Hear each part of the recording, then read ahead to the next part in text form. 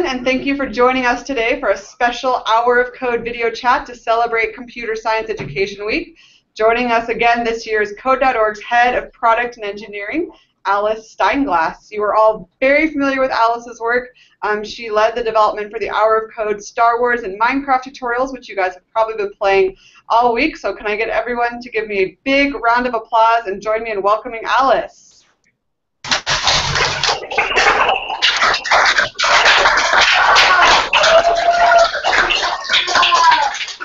Thank you. Great to have you here, Alice. Our first question this week comes from Stratford School. So, um, Roberto, would your class like to ask their question? Yes, we have Amog asking the question.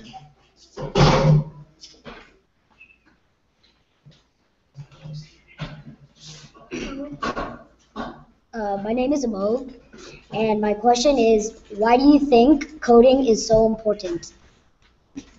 Well, you know, Amog, uh, do you use technology? Do you ever use phones or computers or anything that?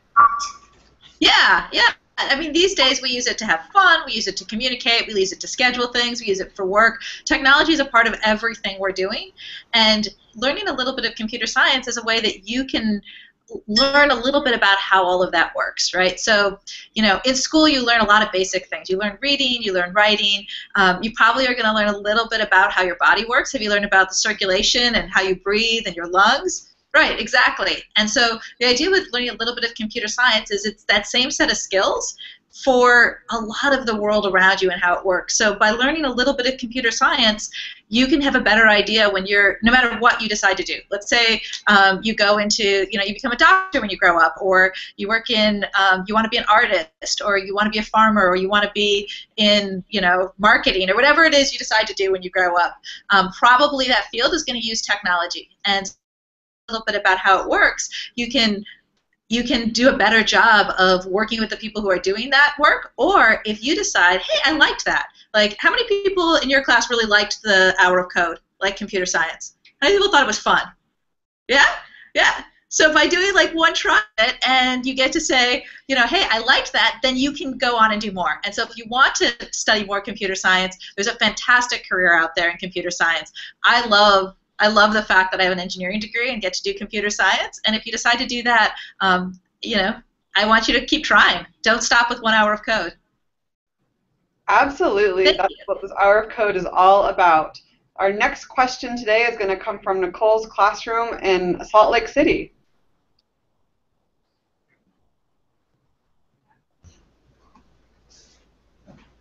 My name's Eric. Okay. My name is Eric, and uh, what extra classes did you have to take to help you get to where you are right now? What? Sorry, what classes did I have to take? Yeah, like extracurricular. Oh, extracurricular classes. Um, I never took an extracurricular class. Um, I was really lucky that my school taught computer science. So I was able to start with computer science in school, and um, and then I went on to college and I majored in computer science in college.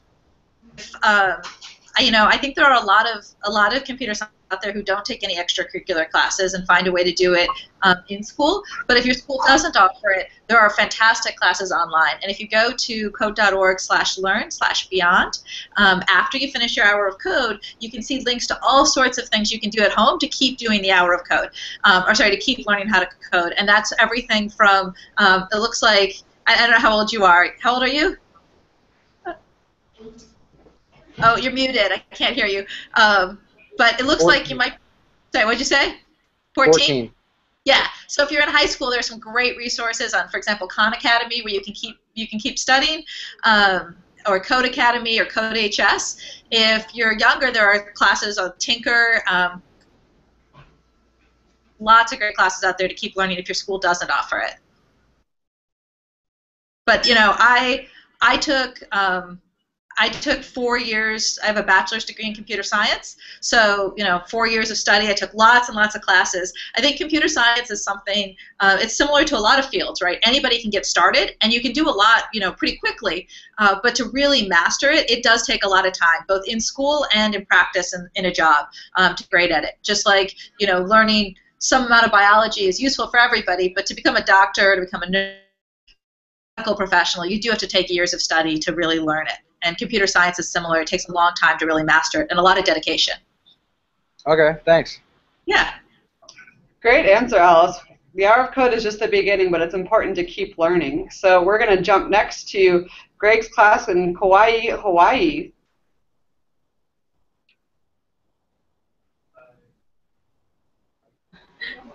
All right, do I have a question now? Yeah, you can go ahead and ask. Um, do you think computer programming should be taught in school? Absolutely. Don't you? you know, I'm so lucky that my school did teach computer science, and I wouldn't have the career I have today if I hadn't had a chance to learn it in school.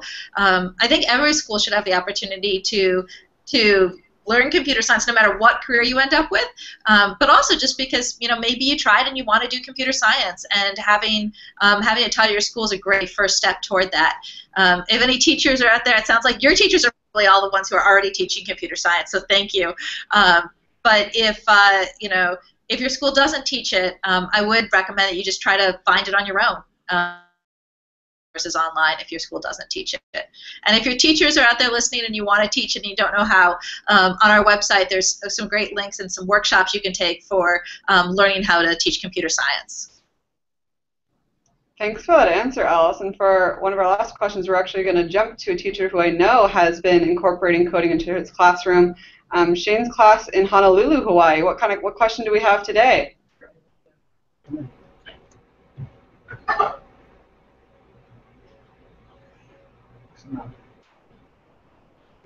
What advice do you have for, for students struggling or just learning computer science?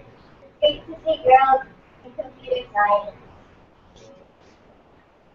So it was a little hard to hear that. Um, Kate, did you get the question? Do it again. That's enough. It's great to see girls in computer science. So what advice would you give to students struggling or just learning computer science?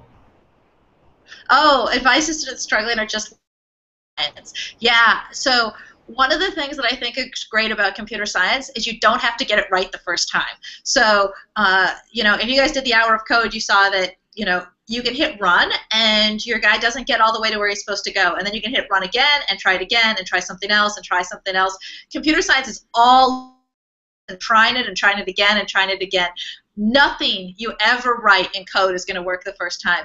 And I think the difference, but you know, what will make you great is the fact that you keep trying. So if you don't give up and you just keep hitting run and you just keep trying, you'll eventually figure it out. And I have had nights where I you know, there are days where things come easy and things work the first time, but there's a lot of times where, you know, and um, and playing around. And sometimes you just discover something that you didn't think you would discover, and it's so much fun when you build it and it finally works, and you can show it to everybody, and you can be like, "Hey, I built that, and that works." So um, if you're struggling with it, um, you're probably doing it right. Um, it means you're trying something that's challenging. If it's you're not struggling, it's too easy. Um, and you should try something a little harder and keep going for it. Um, everybody, you know, that's what learning feels like. Learning feels like just keep trying something and something that's a little bit too hard and keep trying and making it work. And that's true even when we build um, our software. So when we were building this tutorial, when we were first building the Star Wars tutorial, um, it's true for both tutorials, but the Star Wars tutorial, we were building it, and nothing worked the first time. So I remember going to Brendan's computer. We had those Probots, dangerous, um, giant and way too large, and kind of hiding your guy. And everywhere you look, there were these Probots flying around the screen. We're like, that's not correct. Um, let's try it again. So we tried to make them smaller, and then they were too small, and you couldn't see them. And then we made them bigger, and you know, playing around with it and trying to figure out how it works. That's part of that's part of building something. Uh, and I encourage you to just keep going for it. That's great advice, Alice, especially for students doing their first hour of code. It's so important to remember that it's okay if you don't do it exactly right the first time. So we have, since we have a smaller number of classrooms for this chat, we definitely like to loop back and see if anybody has extra questions. Um, Roberto's class, do you have another question you'd like to ask? Yes, we have one more question. Super. Come on up.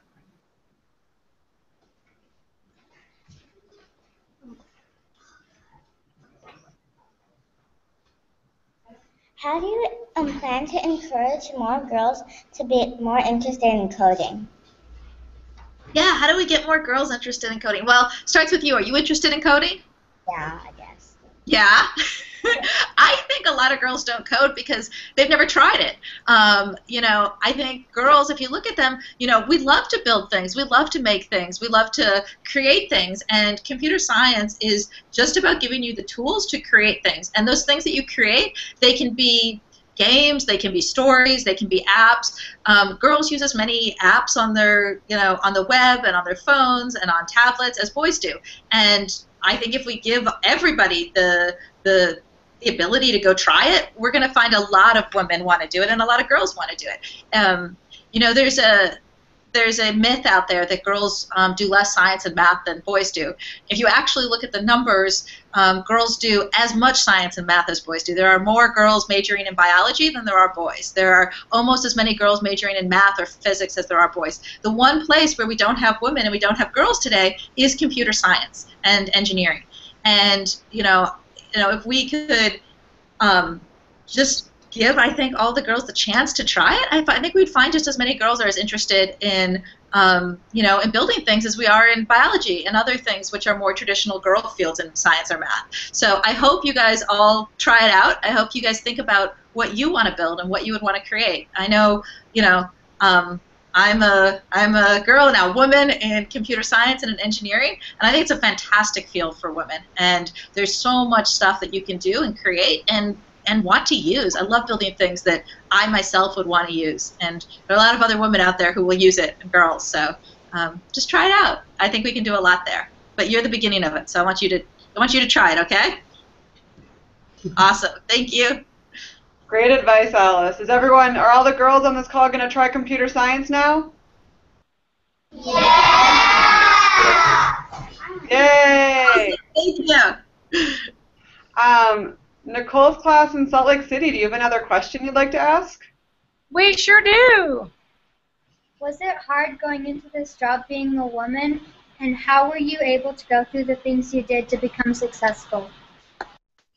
You know, it actually wasn't hard at all being a woman in computer science because you know mm, because you know women i don't know. I i just like building things and i'm building things. I think the thing that that felt weird was that there weren't a lot of other women around right? Um, and so when i took my classes in college i would often look around and find that i was one of you know three or four girls in the room. Um, i've been on teams and worked in classes where i'm the only girl on the team. And that that is something that we can, you know. So for me personally, no, it was it was fine. Like I had fun and I liked what I was doing and I liked building things. I mean, I worked on I've worked on Xbox, I've worked on tools in Office, I've worked on HoloLens, I've done all sorts of amazing things and built things that I love to use. And it was, you know, being a woman is just part of who I am, and I think it it gives me, you know, knowing that that I can build something for other women and for men to use, I can bring all of that and, and all of the skills that I've got as a woman to the table. And it's been really fun to be a female in computer science. Um, but it would be more fun if there were more of you guys around with me. So I think the the one thing that I would love to see is I would love to I would love to see more women at the table with me. And you know the more of you guys who want to try computer science and want to join, there's awesome opportunities in the field. And there's also, you know, it is a career that um, that has a lot of flexibility. You know, I know you guys aren't thinking about someday, like right now, you're probably not thinking about families and kids, but I have three kids, and you know, it's nice to be in a career where there is, you know, a good income, the ability to I can leave work at any time and go to a doctor's appointment or take my kids to school, come back, um, and so it's a great. It's a, I think it's a great career for women, and I hope that more. I hope I see more people at the table who are female to hang out with me. That would be great in a few years. Thank you so much. Um, Greg's class in Kauai, do we have another question you'd like to ask Alice? Hello, Alice. So I, I'm teaching high school, and of course the bell has rung, and all the kids decided that they needed to go eat lunch. So I am the sole survivor, but if you don't mind, I'd like to ask you a question. Go for it. Can you tell me uh, about one of the projects that you've worked on throughout your career that was especially fun for you or exciting or maybe got you hooked more or something that was really cool? oh, there's so many. So the very first computer thing I built with computer science, I had a, I had a computer at home, and I had a little brother. Um, and if any of you guys have little brothers, you know what a problem they are. Um, and so I built this thing for my computer so that when my little brother would try to log on, um, it would beep really loudly, like and then put in big letters on the screen um, Seth, which is my brother's name, um, you have tried to break into my computer. Um, this incursion has been logged, um, and you are hereby banned from, you know, all all computer usage, etc. Um, and so I thought that was pretty cool. And my brother thought it was less cool than I did. Um, and then I think one of the things that got me excited once I got a little further into computer science, I could do more with it than just a warning from my brother, was that I could build things I wanted to use. and so, you know, I you know, math, I was always solving a problem that was, you know, stated and then there was one answer, right? So, you know, prove this. And so you had to work through and you had to do all the steps. It was interesting and the problems were fun, but at the end there was one answer. And I liked the creativity of, you know, English where you could write an essay about anything.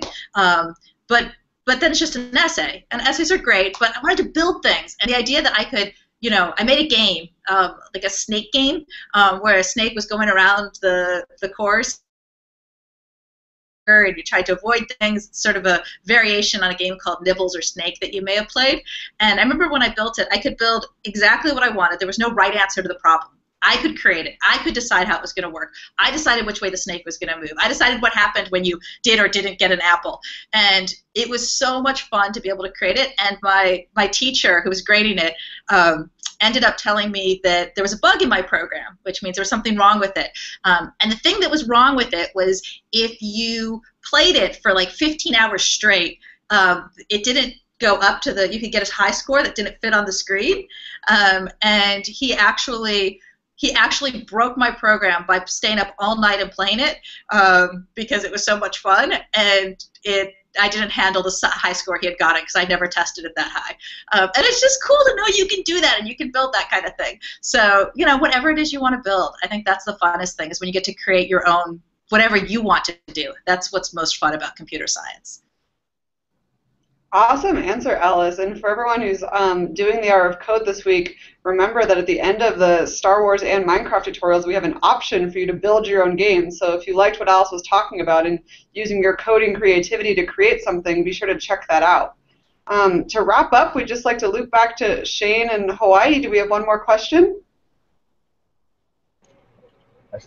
Would you like to be president one day in code? Would I like to be president one day and code? Is that what you were asking? Impact. At oh, code? Oh, at code. At code.org? Is that what you're saying?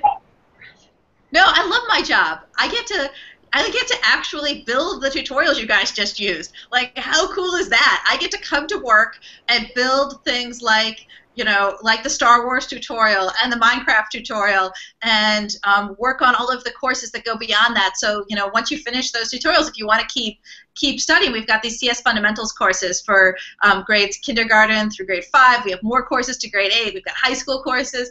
You know, as far as I can tell, I have the best job in the world right now. So, um, yeah, that's I, I, love what I do. I want to do exactly what I'm doing. Just keep doing it. I want to build things. That's why I got into it. So I wouldn't want to stop building things.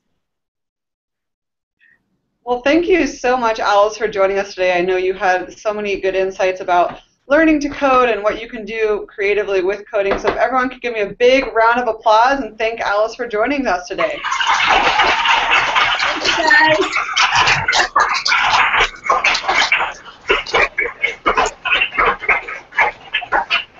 All right, thank you so much, everybody.